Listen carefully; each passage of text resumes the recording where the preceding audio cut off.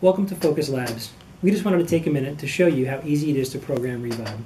When you get your new Revibe, just open the box, take it out, look for your programming tool, which is green, and take your Revibe out. It comes from the factory, pre-programmed on setting 1, or mode 1. All you do is take your programming tool, find the programming action port, which is in the back, double tap the action button twice, like you would double click your mouse. You'll feel a vibration and the lights will flash. That's it. Put it on and go.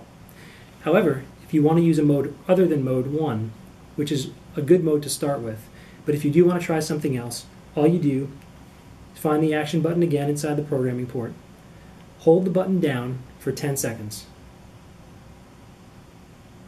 When you let go, you will see two lights flash in a strobing pattern, and you'll feel a vibration to tell you that you're now in programming mode. From here, starting with mode 1, which is the factory setting, you'll press it once to go to mode 2, and you'll feel two buzzes telling you that you're now in mode 2. Press it again, you're in mode 3, you'll feel three buzzes, and so on.